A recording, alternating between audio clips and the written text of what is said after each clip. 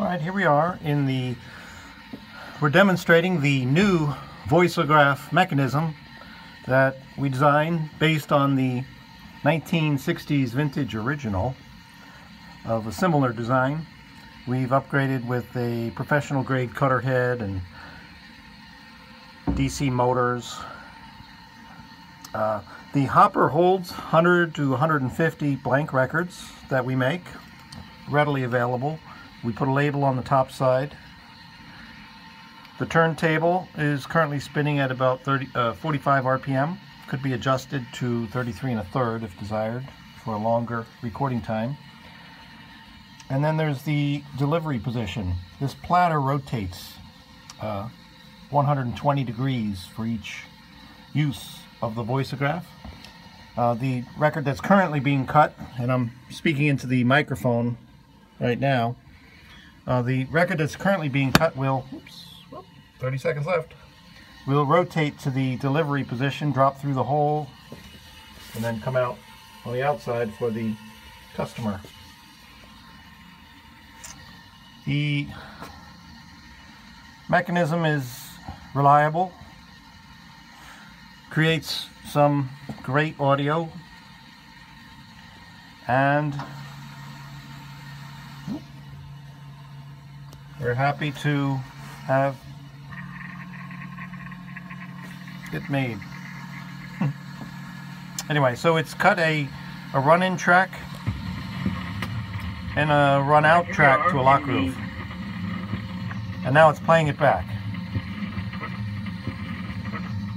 The cutter head has moved new from the voiceograph mechanism well let's listen that we designed based on the 1960s vintage original similar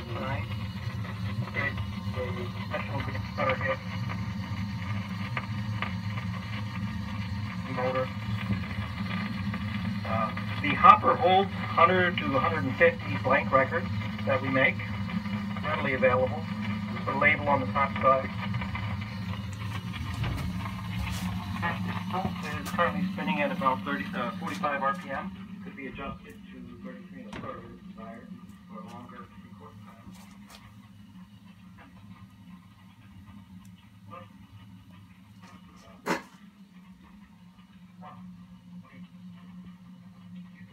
The voiceograph. Uh, the record that's currently being cut, and I'm speaking into the microphone right now. Uh, the uh, the uh, the record that's currently being cut will, 30 seconds left, will rotate to the delivery position, drop through the hole, and then come out on the outside for the customer. The mechanism is reliable, creates some great audio, and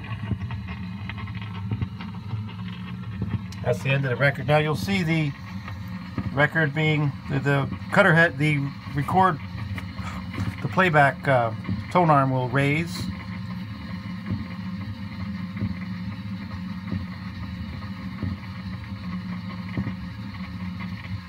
There it is.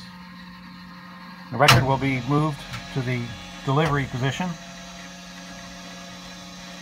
And a new record, blank record, will be rotated into position for the next use. And there we go. There's our record. Voila.